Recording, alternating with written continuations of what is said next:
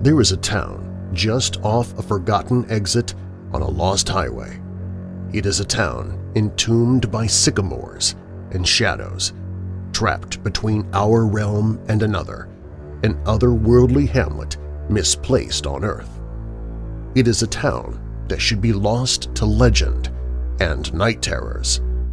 Yet, unlike folk tales as tall as the sycamores that conceal it, the town of Weirdling Woods is real.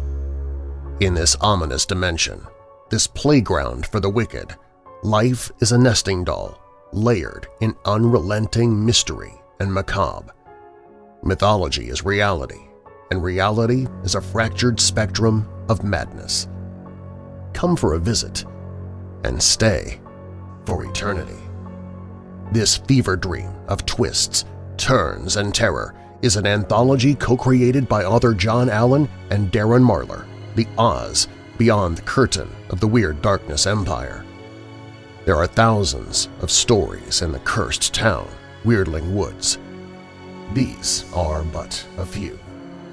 Now bolt your doors, lock your windows, turn off your lights, and join us, if you dare, in Weirdling Woods.